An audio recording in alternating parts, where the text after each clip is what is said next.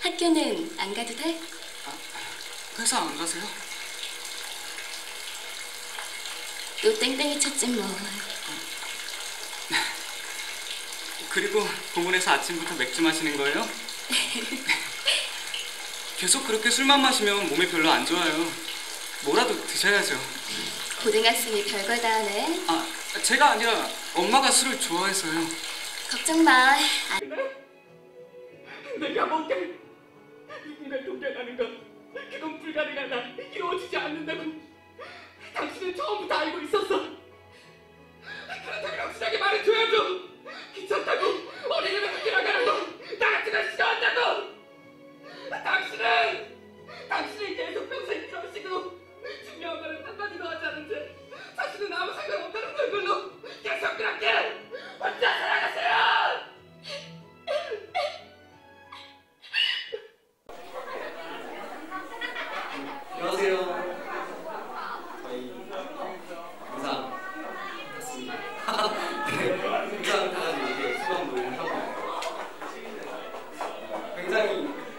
뜻깊었어요. 노력한 대로 나온 것 같기도 하고